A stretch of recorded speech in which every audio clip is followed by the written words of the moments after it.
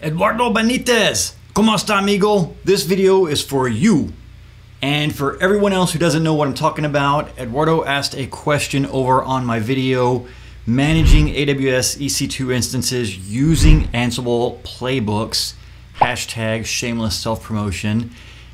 And the question he asked was he just got a job as a DevOps engineer. Congratulations and it's in the embedded software field. So, because of the nature of the products that his company creates, things like Docker and Kubernetes, etc., are all off the table.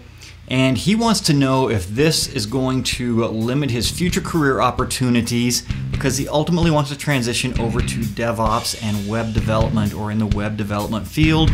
And he wanted to know my thoughts on it. So, let's break it down, see what we got here.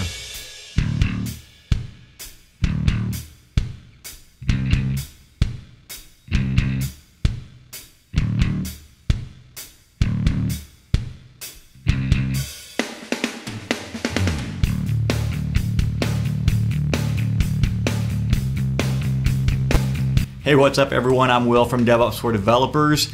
And so we're dealing with Eduardo's question here. Let's take the first part of it. He wants to know if, since he can't use things like Kubernetes and Docker, is that going to limit his long term career opportunities in DevOps?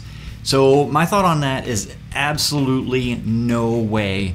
You know, that's a common misconception that we have where, you know, people think you have to use certain tools to do the DevOps things. You know, it's not like you've got a bingo card and when you check off all the boxes in a certain direction, you're doing DevOps, right? It doesn't work like that.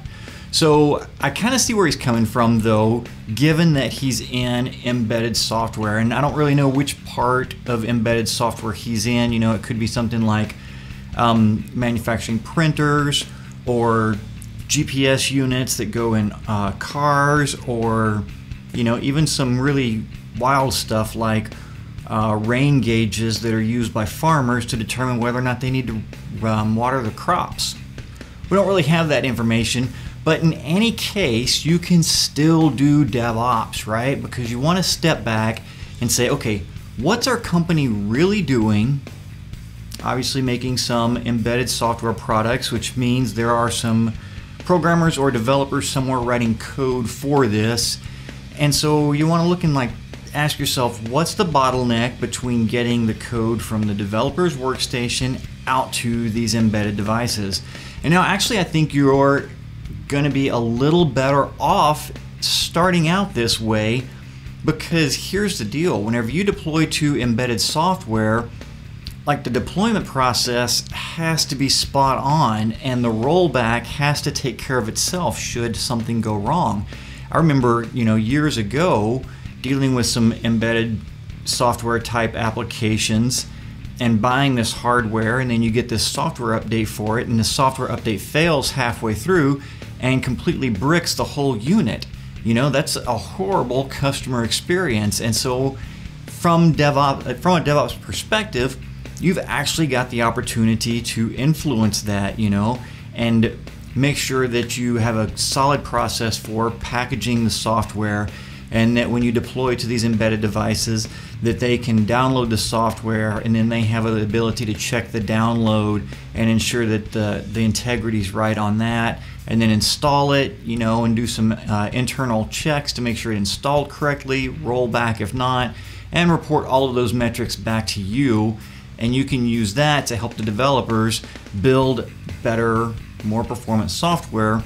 And here's where it gets to like being the DevOps piece of that. Because you're going to measure that over time. You're going to measure how long it takes to get software out onto these embedded devices, how many of them fail, how many of them roll back successfully, the length of time that it takes to install that, how often you deploy, all of those kinds of things, and you want to try to improve those numbers. So now, when you make the transition and you jump over to web development, and they say, Well, tell me about your DevOps experience, you can say, Well, let me tell you about this. Let me tell you about how we deployed to 10,000 devices per day automated that we absolutely could not fail on or it completely bricked the device. That's something that every employer who deploys software is going to be interested in whether they can roll back easily or not. Meanwhile, as you're doing that, you know, you of course still want to be working on updating your skills, learning Kubernetes or AWS, Azure, Docker, all of those types of skills that you're going to need whenever you do transition to web development and make sure that you've got those ready to go as well and you'll be looking like a really solid candidate whenever you're ready to make that transition. So thanks for leaving a comment on the channel and I hope that was helpful for you. I hope it was helpful for everyone else watching as well. And just if you didn't know it, I actually wrote a book, The DevOps Career Guide. So it's available. I'll put a link down below. But as you can tell, it's pretty small. You know, there's not a not a big commitment to read this thing, but there's a lot of good information in it because what I did was just thought back to my career and all the things that I've used for DevOps and all the things that I haven't used for DevOps and kind of combined it into one high level guide so that if you're just getting started in DevOps, you kind of got some insight as to what it's going to look like once you start doing this and years down the road and make sure that this is the right career path for you. So not only do I cover the technical skills that you're going to be using, but I also cover the soft skills because I think they might be more important than the uh, the technical skills that you need. So you can order this on Amazon. I'll put a link down below and you can um, you can get paper or you might want to check out the Kindle version as well. So be sure and check that out and uh, thanks for watching.